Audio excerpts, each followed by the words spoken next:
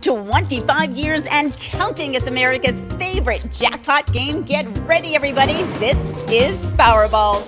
Good evening, America. I'm Laura Johnson. Tonight's Powerball jackpot is worth an estimated $53.6 million. So get those tickets out.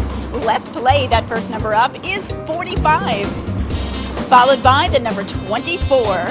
Tonight we're going to meet David Kemistruck, who plans to build an Adobe home with the $2 million he won playing Powerball. Now for the rest of those numbers, we've got 56, 55, rounding it out tonight with the number 57. Your Powerball number tonight is 19 and your Power Play multiplier is 2. Let's take a look at those numbers one last time. And from all of us here at the Florida Powerball Studios, thanks for joining us. We'll see you back here Wednesday night.